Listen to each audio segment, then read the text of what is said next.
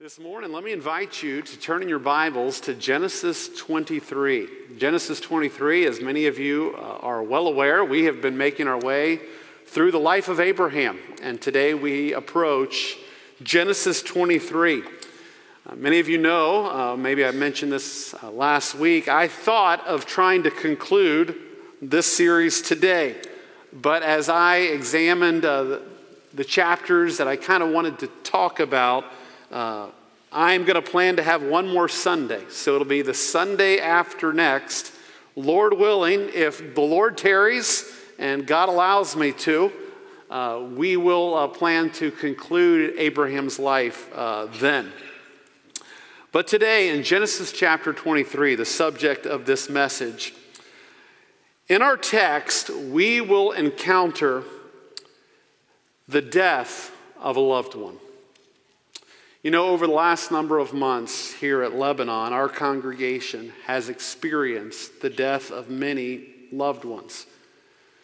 As uh, your pastor, there has been different times, seasons of death that I've had to uh, navigate through here as a pastor at Lebanon and at other places. In fact, I think the first week I was a pastor here, uh, there was a death within our congregation.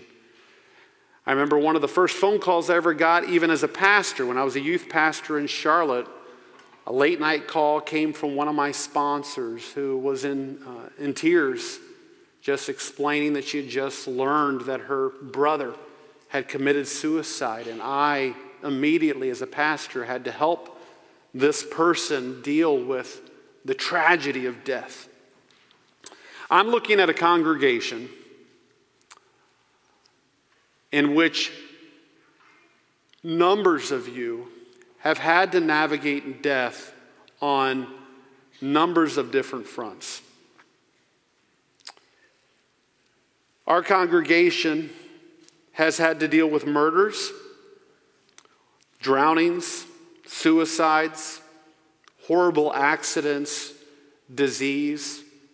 This is just things that I've learned as I've talked with numbers of you. It has struck our parents. Some of you, it struck your children. Many of you, it struck your spouses. And for all of us, we've lost friends.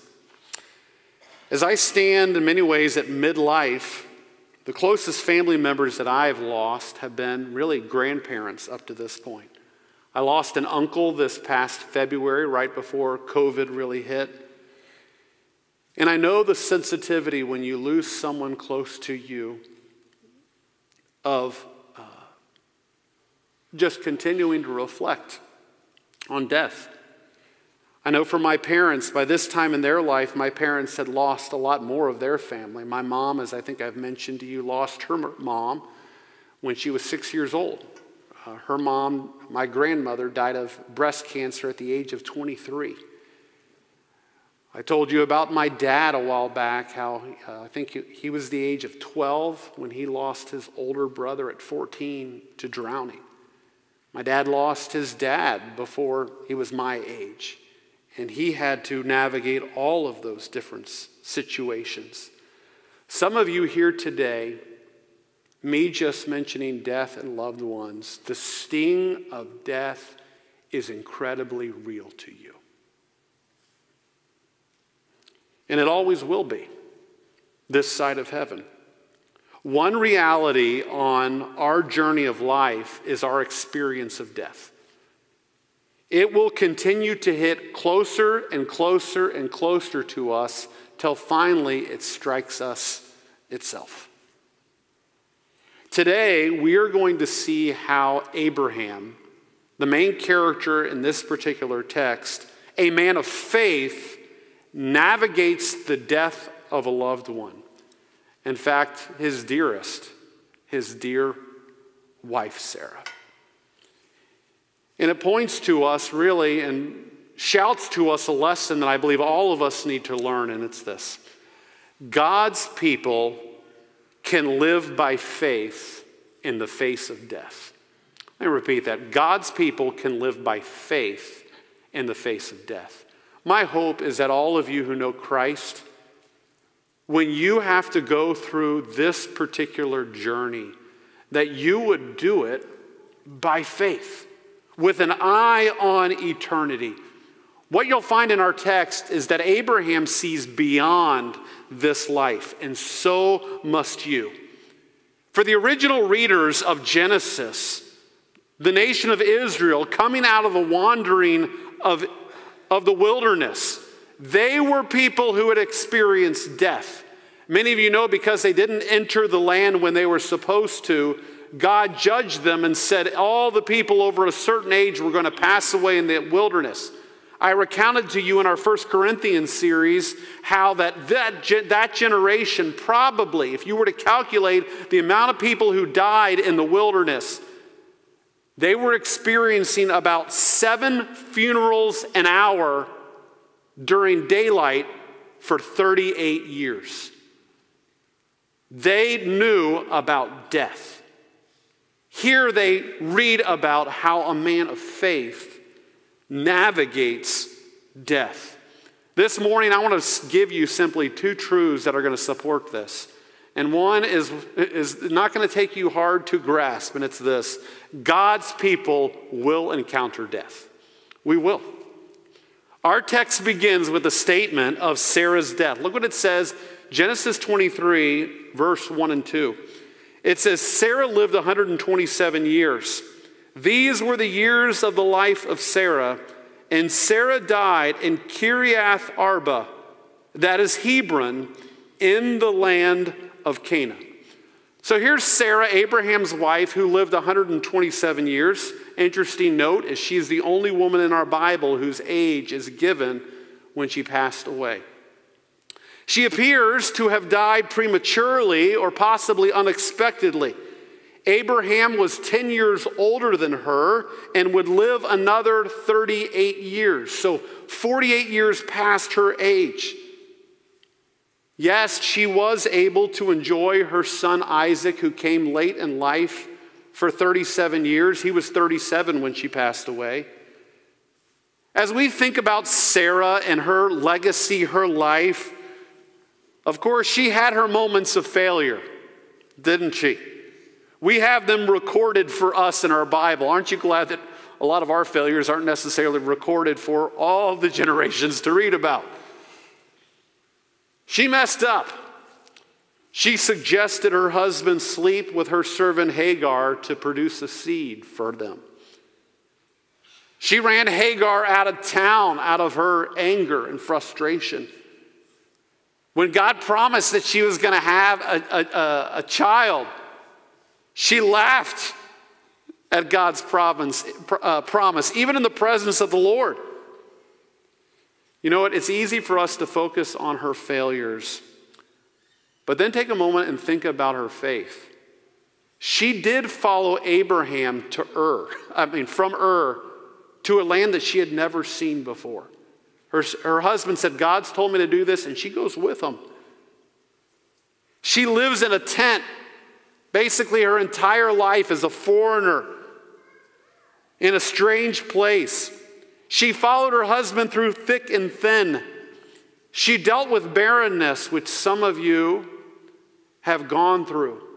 She dealt with it for decades of her life and the reproach that was the, the result of it. Two crowning statements of Sarah's life was this. When she finally had Isaac, what does she say? God has made me laugh. She realized that the reason she had a child was who did it? God did. God is sovereign over all things. And when the writer of Hebrews gives his last testimony of her, this is what he says about Sarah. By faith, Sarah herself. She received power to conceive even when she was past the age. And listen to this since she considered God, Him, faithful who had promised. She believed in her God. She trusted in her God. She had faith in her God. You know what? At the end of the day, when you and I, when our date comes, all of us with a date of death, when it finally arrives, let me remind you that it isn't going to be your failures that define you. It is going to be your faith in God. Have you believed in God? You in here may look at your life and look at all the things that you have done and the ways you've messed up. You may look at yourself as a colossal failure. But when you place your faith in Jesus Christ and believe in your God, that makes all the difference in the world. Now, faith is the substance of things hoped for, the evidence of things not seen. Believe in Him. And we know where Sarah is today. What does the Bible say? To be absent from the body is to be what? Present with the Lord. And she is with the Lord. But as a reminder to all of you, your death date, and I don't think any of you are going to make it to 127, okay? Your death date is coming. And you just breathed a breath that was one breath closer to that date. And you better prepare for it by faith. Neither is there salvation in any other. There is one way that you will be able to spend time, eternity with God, and that is through His Son, Jesus Christ. And if you are here today and death has always haunted you and brought fear into your life, there is someone who can take away the fear of death. And that is Jesus Christ, who can save your soul and transform your life. Believe in Him. It is appointed unto man once to die, and after this, the judgment. And if you will accept Christ, he'll take the judgment for you. So Sarah passes away, but now we run into the mourning of Abraham. Those of you who have lost a spouse, find in Abraham one who's gone through it. Listen to what it says. Look at the end of verse 2. It says, In Abraham, went in to mourn for Sarah and to weep for her. Now, notice it says went in. You know what it suggests? It suggests that he possibly wasn't there when she passed. Maybe he was out in the field farming or, or doing something in reference to his herds and cattle. Maybe he was away in Beersheba you know what? It is so often the case that those of us who have to say goodbye to our loved ones don't get to do it in person, don't get to be right there with her. He mourned for her, and the Bible says he wept for her. Here was a man in which no tears, now it's interesting, here's a man in which no tears are recorded for leaving his homeland or for the death of his father, because he has to deal with the death of his father, no necessary tears for the sacrifice of his son.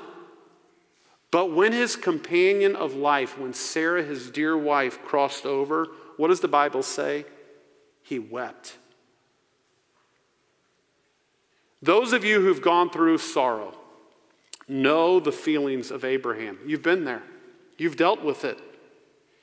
Let me remind you not only has Abraham gone through it, but you know when our Lord Jesus experienced death, which he did.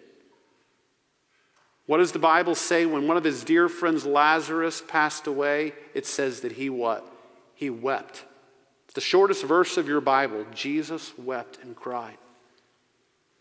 Know that your Lord has also been in this spot. He's been there, he knows what you're going through. And I'll tell you, mourning and weeping is a proper response to death. Don't ever let anyone tell you that the Stoic, no tears method is the way people of faith mourn. That is not the case. No, death has invaded our world through the fall, hasn't it? It should be odd, irregular. It should never have happened. It's tragic. And there is, as the Bible says, a time for sorrow and for weeping. But that sorrow and weeping, what it should do is it should make us thirst for a day when God is going to wipe away all of our tears. And there will be no more death, no more sickness, no more disease. And it should remind us to prepare for that day. And it's interesting. You know, the wisest man that ever lived, Solomon, said in the book of Ecclesiastes if you ever had a choice to go to a funeral or to a party, he says this It is better to go to the house of mourning than go to the house of feasting. For this is the end of all mankind, and the living will lay it to heart. He says it's good to go to the funeral because what a funeral does is it reminds you that death is coming and you ought to prepare for it. I'll, I'll remind all of you this particular group that is here at Lebanon Baptist Church this morning, number one, we will probably not all be here, this exact group again. But a year from now, you can almost guarantee it that someone in this room will be on the other side of eternity. You and I are going to have to deal with death. Some of you, it's going to come quicker than you can imagine. It's going to hit very close to home. God's people will encounter death. So, Pastor Brian, how did Abraham deal with it? Well, we learned he wept, he cried, he mourned, but it didn't stop there. The second truth we're going to get this morning is this God's people can respond in faith. And that's what you're going to find Abraham do. Notice that now, in the midst of all of his brokenness, Abraham knew that he had to keep living. He knew he had to keep taking another step, the next step in front of him. God had him there for a purpose, and he needed to continue himself to live by faith. You know what? It is in these times of death and heartache that you and I can be incredible testimonies of the grace of God. That we are people who know God. So he began to make his decisions based not simply on his sorrow, not simply on this life. He began to make his decisions, even in reference to her death, based on promises that God had given in the future. What we do, what we find in Genesis 23, the remainder of it, is really a business transaction. It's interesting, more time is devoted to this business transaction of finding a tomb for Sarah than for really her death and Abraham's mourning for her. One person said it this way man's final requirement of man is a grave. And those of you who've had to sit in a funeral home and had to pick out a coffin or pick out a burial spot, it is the most awkward thing you could ever imagine. It should be out of place. It is out of place. It's hard. And here Abraham has to navigate it. He works through it. But you say, Pastor Brian, what was going through Abraham's mind at that time? You know what I believe was going through his mind? That God had promised one day to give him the land of Canaan. He says, I'll give you a land. I'm going to give you, that's going to be the place of your ancestors. I will bless you. I will do all this. Up to that point, Abraham didn't possess it yet. He may have had a couple of wells that he laid claim to, but what would have been the normal scenario for Abraham in this particular situation? In a normal scenario, you take the body of your loved one back to their home country. That's what we do with our soldiers. That's what we do oftentimes with missionaries. They, they serve the Lord and then they, they bring their bodies home if they pass away on the field. Wouldn't it have been, you could say, proper and just the, unusual, the, the normal thing to do to go to take the body to Mesopotamia, back to Ur, and bury her there? Here, what we find is that Abraham sees beyond this life. He doesn't see this being the end, he sees beyond it. He sees the promises of God, and he wants, in many ways, to have an eternal perspective. And so, what he does is he goes to the inhabitants of the land that he was living in in order to purchase property for her burial spot. Look what it says in verse 3 and 4. It says, And Abraham rose up from before his dead and said to the Hittites, these are the, those who were dwelling in this area of Canaan. He says, I am a sojourner and a foreigner among you. Give me, and notice he says, give me property among you as a burying place. that I may bury my dead out of my sight. So, what we find through the rest of this chapter is we have a record of a very careful business proceeding. Now, when Abraham says, I want you to give me a, a burying spot, it wasn't basically Abraham says, Hey, I need a handout. Someone give me a place. I need someone to just give this to me. What he was really asking was he was asking for one of them to sell him a piece of property. Now, just to kind of understand this, maybe a, something that would be helpful is what John Zimmer described to me about the Micronesian island that he serves on in Palau. In Palau, only Palauans are allowed to own the land. They're not allowed to sell it to anybody else. In fact, you can lease a piece of land on Palau for 99 years, but it's going to go back to the what? The family after that. So the land is tied to those particular people. Here, Abraham asked for special permission to purchase some land. He knew God had given it to him, but he wasn't going, he, he had already tried to manipulate situations in the past. Here, He's trusting the Lord, but he's going to purchase some land. And here Abraham respectfully requests it. Now, just as a side note, he identifies himself as a sojourner, sojourner and a foreigner. He hadn't necessarily adopted their way of life, lived in their towns, took up their gods. He was different from all of them. He was someone who did not in many ways become like Lot, who infiltrated their particular area and adopted all of their mentality. He was different, he lived differently. And of course, the Israelites were supposed to do this when they got there. He tells us, you and I, that we need to make sure that we don't hold this life too dearly. You and I are to be strangers and pilgrims. In fact, Peter writes years later to us, he says, Beloved, I urge you as sojourners and as exiles to abstain from the passions of the flesh which wage against your soul.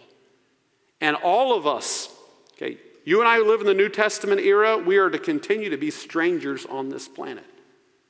This, as the, the song that we used to sing as kids, this world is not my home, I'm just a passing through. I'm just going through here. And Abraham, he lived, that was his testimony. Now, notice how they respond. When he asks, they give their assessment of Abraham's testimony among them. Look what it says in verse 5. It says, The Hittites answered Abraham, Hear us, my Lord. You are a prince of God among us. Bury your dead in the choicest of our tombs. None of us will withhold from you this tomb to hinder you from burying your dead.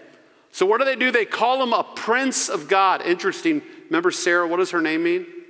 Princess. He's the prince of God. But evidently, they noticed something different about him. He was a prince of El, of God. They noticed the blessing that God had given him. It was just clear to all of them who lived there, the prosperity and all that had happened to him. And what do they do? They say, Take your choice of the burial spots. Then, what Abraham does is he has a particular spot in mind. And so he asks for it. Look what it says in verse number seven.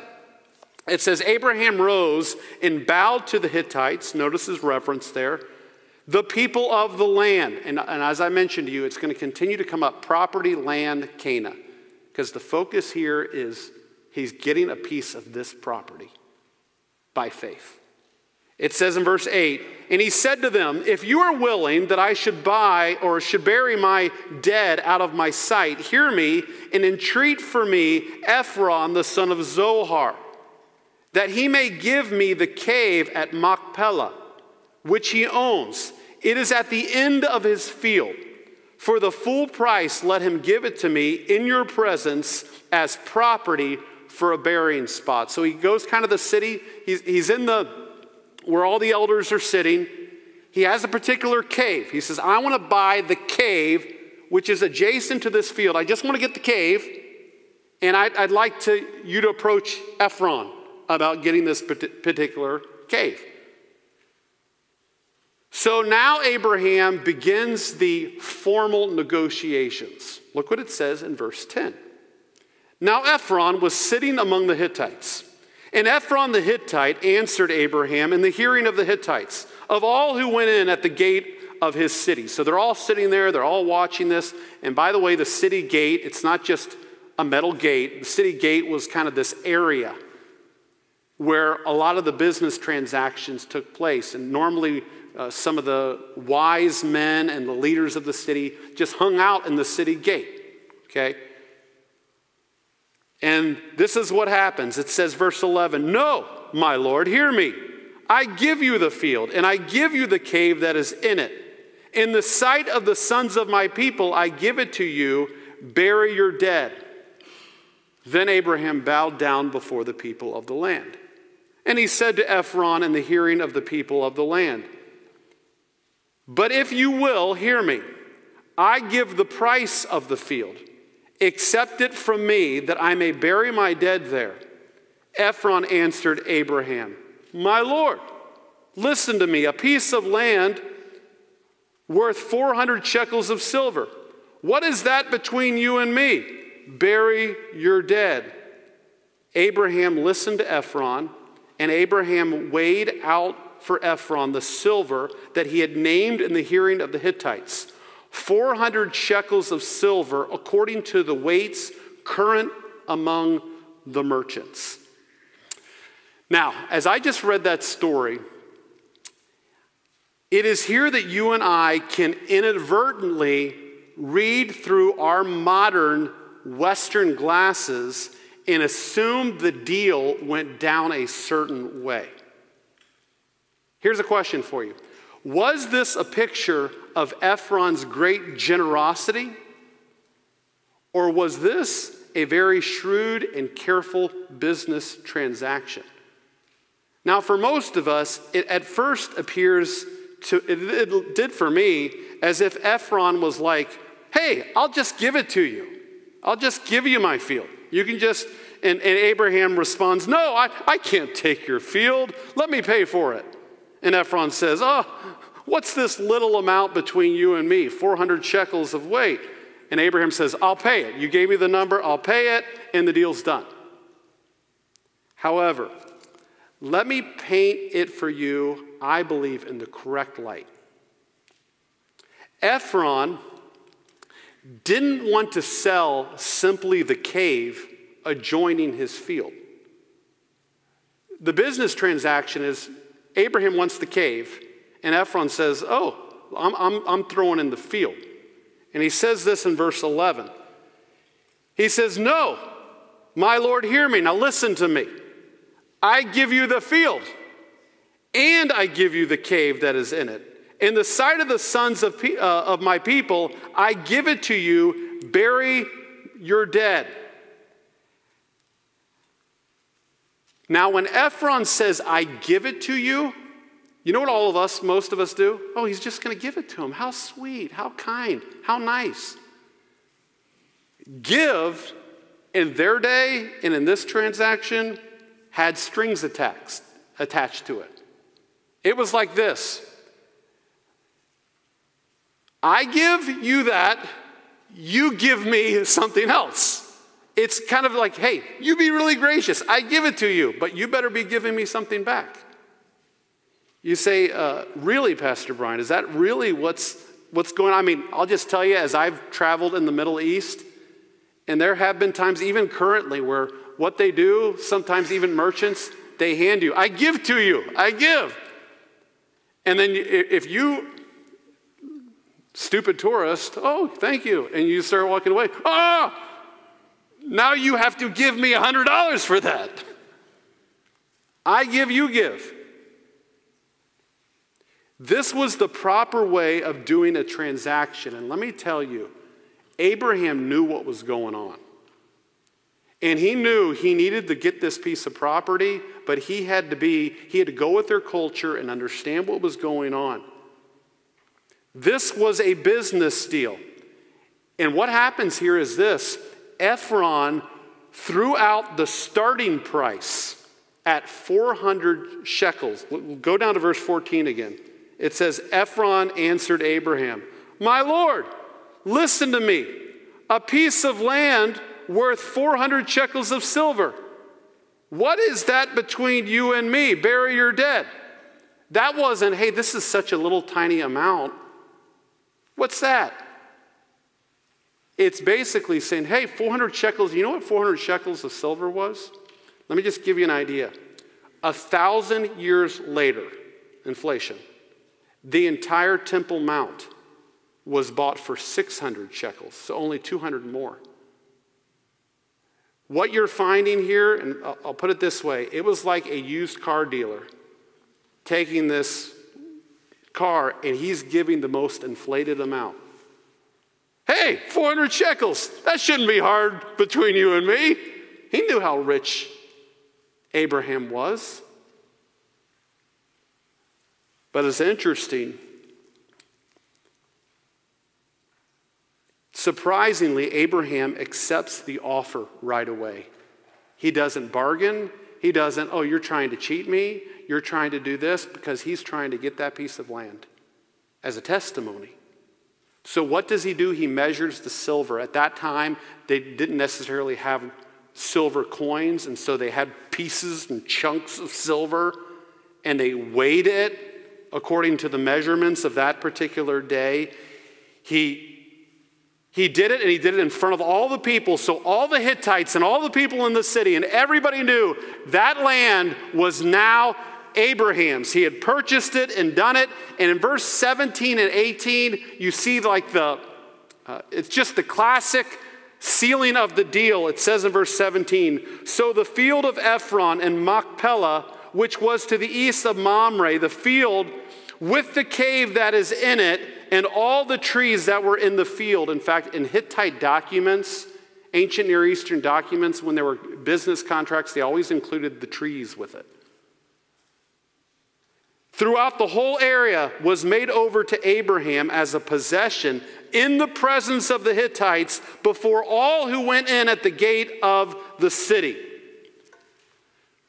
So, Pastor Brian, the question is this why does God, I mean, when you think about Abraham's life, there was probably great things that happened, all of this stuff. Why does God spend all of these verses recounting this particular event? I submit to you the main point of all this is that Abraham, by faith, with one eye on the promises of God, one eye on having to deal with life, he bought property in Canaan as a testimony to what God said he would do. He is going to give us this land. There is more to this life than, than what I'm seeing. There is an eternal part of this. I believe what God has said. In fact, years later, Jeremiah when the, the country of Judah was being pulled into captivity, God told Jeremiah to do a very unusual thing. He said, Jeremiah, I want you to go buy property. He says, but everyone's going into exile. The property's going to be worth nothing. He says, go buy property because one day we're all coming back here and I want you to do it by faith. And what Abraham does here is he does it by faith. And notice it's repeatedly refers to property, location, Canaan. It does it in the last two verses. It says this After this, Abraham buried Sarah, his wife, in the cave of the field of Machpelah, east of Mamre. That is, he, is Hebron, in the land of Canaan. The field and the cave that is in it were made over to Abraham as property for the burying place by the Hittites. And in fact, did you know that you and I could visit Sarah's tomb, even to this day in Hebron? In fact, not only is Sarah buried there, but Abraham would be buried there, and Isaac and his wife, and Jacob and his wife, and they would all do it by faith. What, was, what this was was this this was Abraham before God and before all the people and before future generations saying this I am somebody who believes in the promises of God. Life doesn't end here, there is so much more going on. and I want to show the generation, and I want to, by faith, live according to something more is coming. One commentator said it this way by leaving their bones in Canaan, the patriarch gave their last witness to the promise. In fact, years later, the writer of Hebrews would say this about Abraham and Sarah. It says this These all died in faith, not having received the promises, but having seen them and greeted them from afar, and having acknowledged that they were strangers and exiles on earth. For people who speak thus, those who speak this way, make it clear that they are seeking a what? A homeland a city not made with hands, eternal in the heavens. They are ones who look beyond this life. And Abraham was a guy, a man of God, who looked past death at eternity. Do you see beyond this life? Do you have eyes? And do you have your actions that Shout to the world that there is more to this life than this life. It is our actions, particularly around death, that can point people to faith in God's promises. I remember right when I started as a pastor, I was uh, just green in ministry. One of the gentlemen that I worked for as a high school student, I painted his fences on his property. When he passed away, his family didn't go to church, and the only kind of preacher they knew was me. And they asked me to do his funeral. He, he died very suddenly in his early 50s in a car accident, and I don't believe he ne- ever knew Christ. He, he went his own way. And I can still remember being asked to preach the funeral, and even just the, it was an incredibly hot day in August, a tent on their piece of property. They were weeping, they were crying, but it was almost like this was the end. He was cremated. They threw his remains in the lake that I had often fished in. But the statement there is it's done, it's over. We hope maybe something, maybe there's something out there. It's a stark difference from as I look across this room, some of you who've lost loved ones, when you've buried your loved one, it is a statement of your faith in Christ.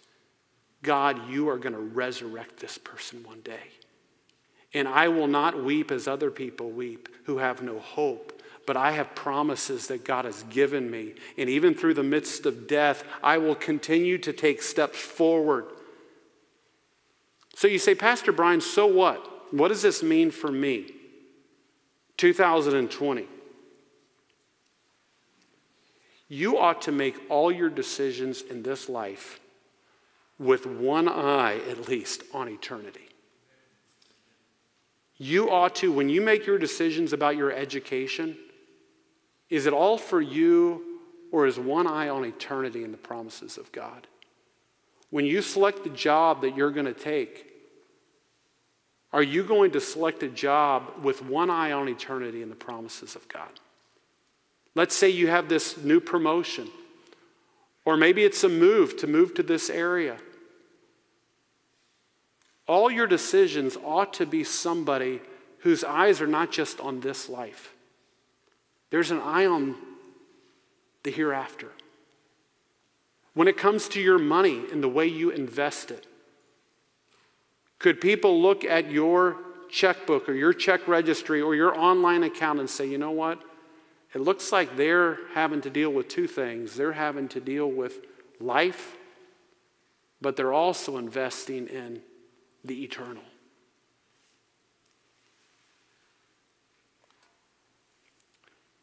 You know what? What we truly believe here is often really revealed in times of death how we weep, how we hurt. The most important thing that any of you can do to prepare for that is what you do with Jesus Christ. Jesus, God's final word to this planet, said this repent and believe the gospel. You have to believe that Jesus Christ indeed is the God of the universe, and the only way to have all your sins forgiven is by depending on Him and Him alone to be your sinless sacrifice.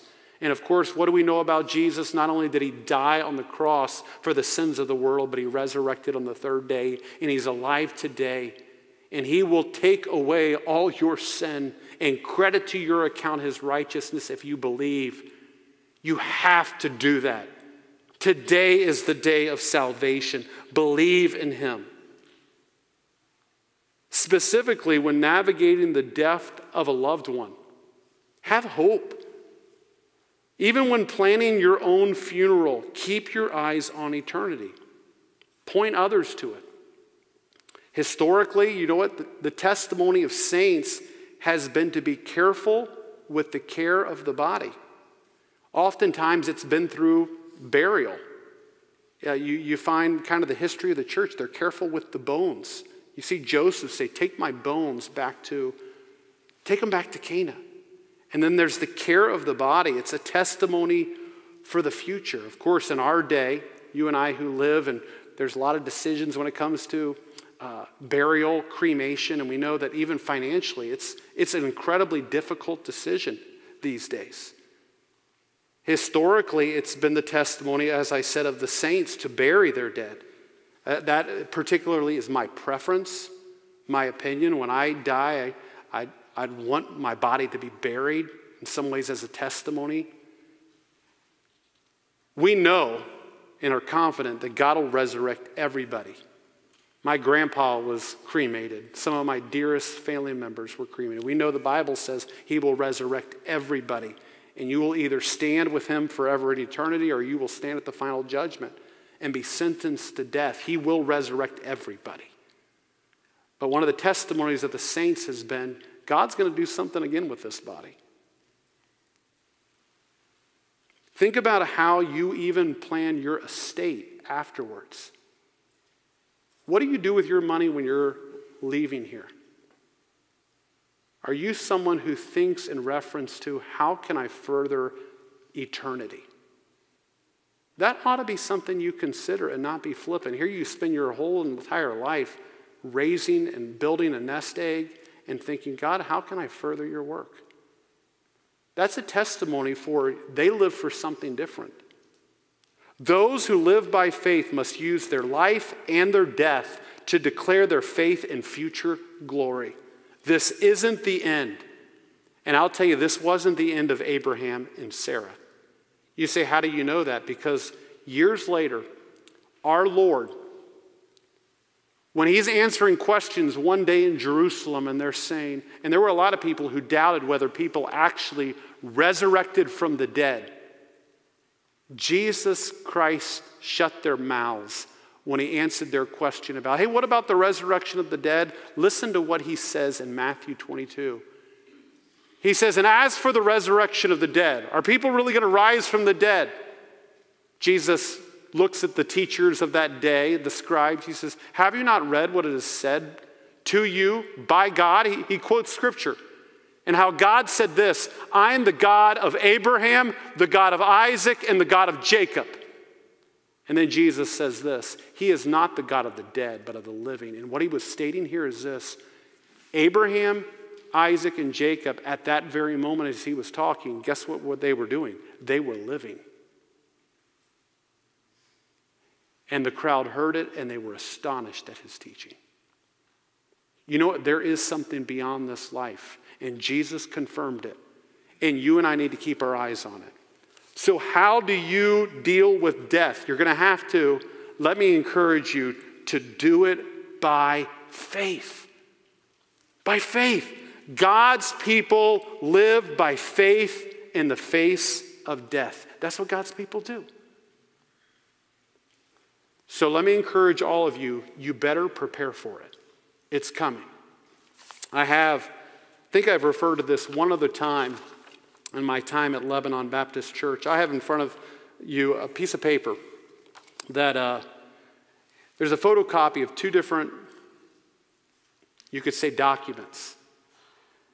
It was a number of years ago, I traveled on an evangelistic team called the Minutemen team, and we'd go to different cities and we would go and host a three night kind of youth activity, and, they'd preach, and we'd preach the gospel every night. And I was in Newington, Connecticut, hosting this big event when a young man who I invited uh, to the event to be a part of my team came, and after the first night, went up to the main speaker and told him this. He says, You know what? I'm an atheist. I don't believe in God, but you got me thinking tonight. You got me thinking tonight. He came back the next night, and then he came back the third night. It was interesting. On the third night, we normally had a testimony time before the preaching, and he got in line to take, do a testimony. And I was kind of like manning the line, like, okay, uh, you got to have a testimony in order to give a testimony. Well, long story short, Jeff Mashrell that night turned from his atheism and he accepted Christ. And in fact, I have Jeff Mashrell on April the 12th filled out this decision slip. In fact, he wrote in his own words, he said that we, the question was, Would you explain in your own words what Jesus Christ has done for you tonight? And he said this He grabbed hold of my heart and just flowed through me, making me almost feel like I could glow. That was his way of putting it. So he came to Christ, evidently. On the top of this sheet is an obituary. I told you he was saved on April the 12th. Obituary Jeff M. Mashrell, 17, of his address, died Saturday, April 13th. He was hit by an automobile and sent out into eternity. But let me tell you, if indeed Jeff Mashrell placed his faith in Christ, he prepared for his death by faith. You know what? You and I, none of us know for sure when that day is going to come. I've treasured this. God can radically change a person. So you better prepare for your death. But those of you who have prepared it, then you need to look beyond it.